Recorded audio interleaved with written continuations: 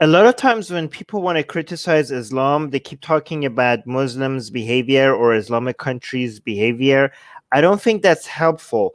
Um, even if every single Muslim never did anything wrong, uh, Islamic scripture is still barbaric, violent, anti human, anti woman, anti gay, anti trans, anti science, all of that stuff.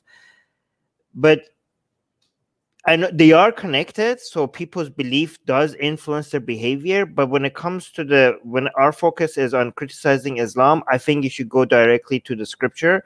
If you want to then analyze how people how people's be- belief influences their behavior that's a separate topic. But that shouldn't be how we criticize islam as a religion